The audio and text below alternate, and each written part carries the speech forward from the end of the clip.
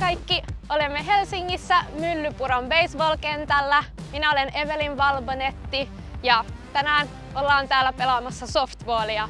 Itse olen suomalais-italialainen siis entinen softball-pelaaja. Tällä hetkellä pelaan baseballia miesten parissa. Softball on tosi samantyylinen peli kuin pesäpallo. Oikeastaan tutustuin lajiin lapsena. Asuin Italiassa perheeni kanssa ja äidin kanssa käytiin usein pelaamassa pesäpalloa jalkapallokentälle. Se oli mielestäni tosi tosi hauskaa, mutta no Italiassa ei ole pesistä. Kävi niin, että päädyin softballin pariin ja olen nauttinut siitä tosi paljon. Eli tervetuloa meidän mukaan pelaamaan softballia